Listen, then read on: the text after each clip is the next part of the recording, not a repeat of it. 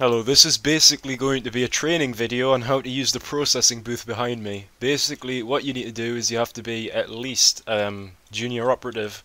You'll be able to access this door. You'll be able to come in here. There's two sides, there's both processing booths.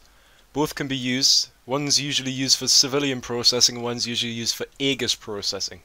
Basically, the tutorial that we're going to be doing in this video is going to be processing Wastelanders and Aegis personnel.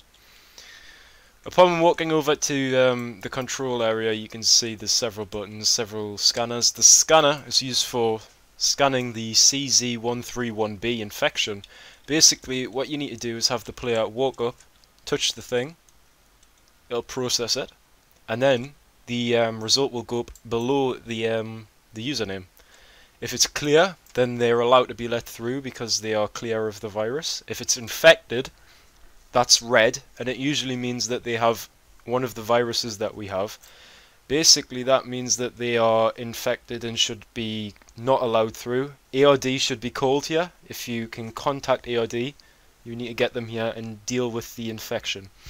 If it comes up like it just did there that's immune. That means that the player is immune. So he's immune to the infection can't get the infection. So that's the same as cure. Comes up as like a bluish color now, what you would do is you'd press this button here. This means that you are now processing in this booth. It tells everyone outside um, that basically you are processing. It comes up on the um, top of the door, processing civilians. As you can see here as well, it says unattended. So once this is in processing mode, you'll be able to open this door here, which will allow the player to come in.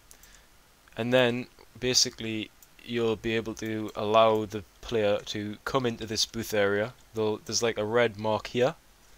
This is where the player will stand, just here. You'll usually have an Aegis personnel member on that line behind you in case things go to shit. So basically what you'll do is you'll open the door, um, the player will enter the containment chamber okay. Um, and then you close the door.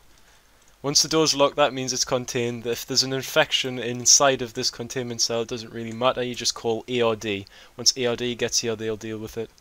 So once the player comes up, you'll they'll like designate the rank if they're Aegis.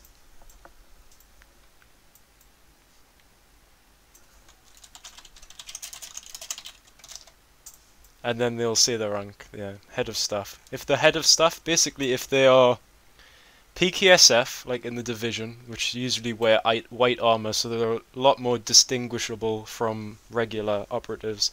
If they're PKSF or unit captain plus, then they get priority to go through without being scanned because they are usually immune.